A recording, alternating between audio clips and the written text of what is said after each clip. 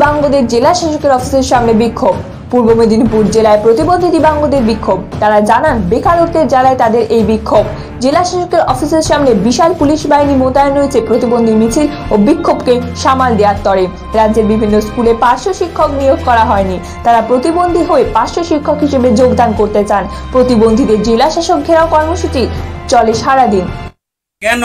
আমরাও তো সমাজের মানুষ, আমরাও তো বিশেষ শিশু হয়ে থাকতে চাই না, আমরাও সাধারণ শিশুর মতো দাঁড়াতে চাই। এই দাবিটা যেমন আমাদের প্রয়োজন, তেমনি আজকে সকল বিশেষ শিশুরাও দাবি তুলেছে যে ভাতা থেকে শুরু করে স্কুল, কলেজ সকলের কাছে যে দাবিটা, যে প্রত্যেকটা স্কুলে বিশেষ শিক্ষক অর্থাৎ স্পেশাল টিচারটা যে প্রয়োজন, কারণ আমাদের দাবি যে প্রত্যেকটা স্কুলে যদি স্পেশাল টিচার হয়, তাহলে আমরা তো পড়াশোনা করে শিক্ষিত হয়ে একটা সমাজের সাধারণের সঙ্গে মিশতে পারব।